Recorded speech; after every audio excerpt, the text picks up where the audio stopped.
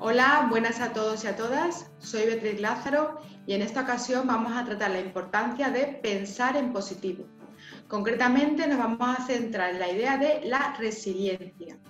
¿De qué vamos a hablar? Pues bien, no todos los días de estudio son iguales y hay algunos días que acabamos la jornada y no nos sentimos cómodos con los objetivos alcanzados.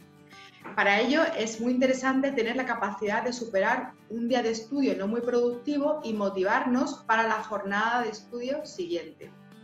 ¿Qué es la resiliencia en una persona? Es la capacidad de adaptarse a una situación complicada, de recuperar el estado inicial tras cierto desorden y de sobreponerse a las adversidades. Pues bien, se trata no solamente de vencer el momento negativo, sino de aprender de él, ¿Una persona resiliente se nace o se hace? Pues bien, no es una cualidad innata, es algo que todas las personas podemos aprender durante la vida.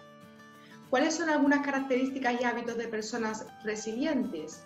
Pues practicar la atención plena, que ello nos ayudará a concentrarnos en el estudio, controlar las emociones y no las situaciones, ser flexibles ante los cambios, ser tenaces en los propósitos, tener buen humor, ser personas creativas y buscar soluciones ante los imprevistos y vivir una vida con objetividad desde el punto de vista optimista.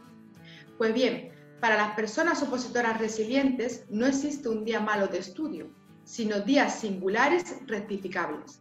Así que recordad, mejor hecho hoy que perfecto mañana. Muy bien, muchas gracias por todo. Un saludo.